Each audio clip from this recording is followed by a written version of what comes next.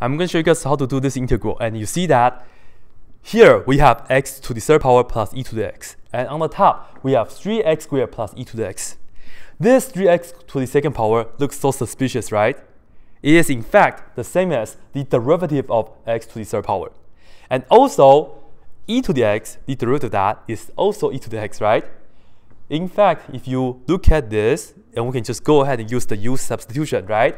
I'm just going to set that u equal to this, x to the third power plus e to the x. And then I will go ahead differentiate both sides. We get du equals to, this is 3x squared, and then plus the derivative of that is just e to the x. And the whole thing right here, I should put a parentheses and then dx, right? And you see, this match exactly to the top. All in all, this is going to be the integral. This and that is just the whole du, right? This and that is just the whole du.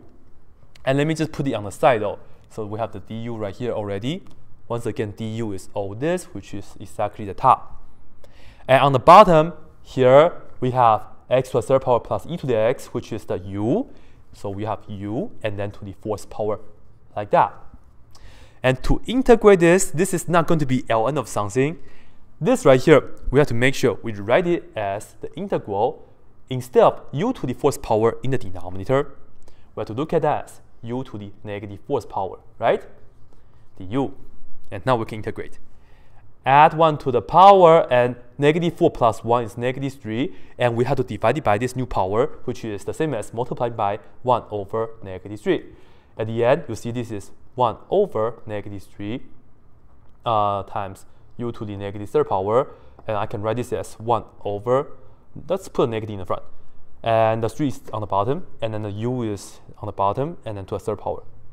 And I can write the u back to that, right? So finally, uh, this is negative 1 over 3 in the front like this, and then u is x to the third power plus e to the x, and then raised to the third power like that.